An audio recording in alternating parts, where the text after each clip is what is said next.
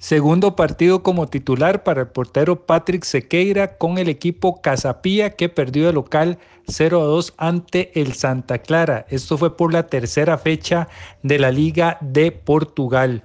En el primer gol, Patrick Sequeira desvió ligeramente el balón, pero no fue suficiente poco después, el guardameta Tico salvó a uno de sus compañeros tras un error en defensa con un muy buen achique.